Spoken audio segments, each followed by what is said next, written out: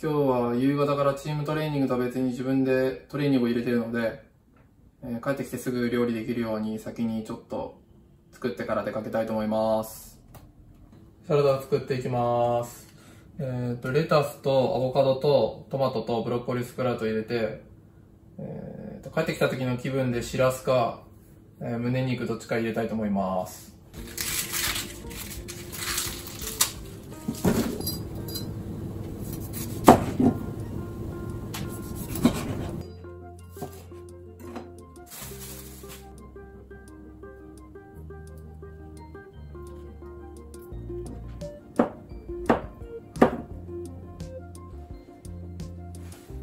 ちょっとこんな感じです。もう一品はしらすと長ネギのごま油和えかな？を作っていきたいと思います。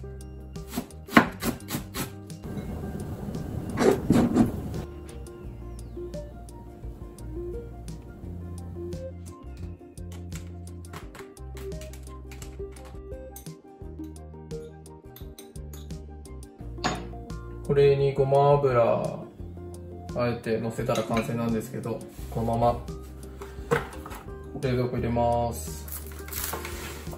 とりあえずこんなもんでトレーニング行っていきたいと思います。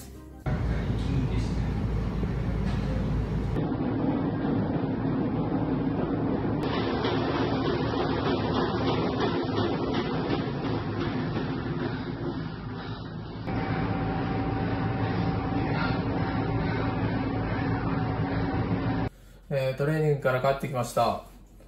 疲れすぎて、もう料理する気ちょっとなくなってきたんで、ブリの刺身を買ってきました。これから、ごまぶり、ごまサバみたいな感じで作っていきたいと思います。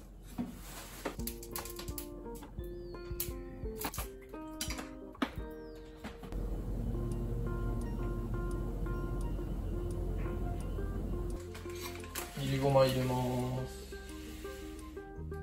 す。りごまも入れます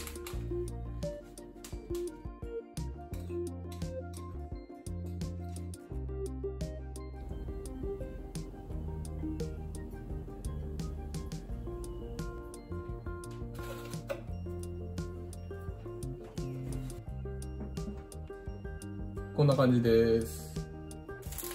あとはサラダに胸肉を入れレンジでチンして胸肉入れます。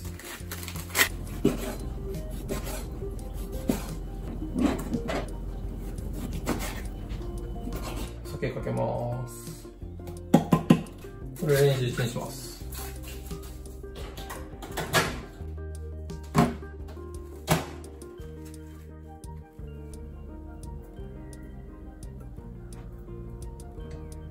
サラダ入れちゃいます。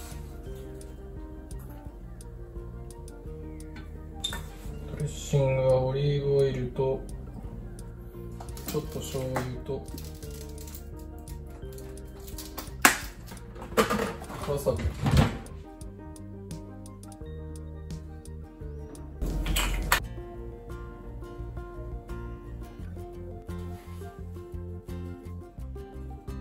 こんな感じです。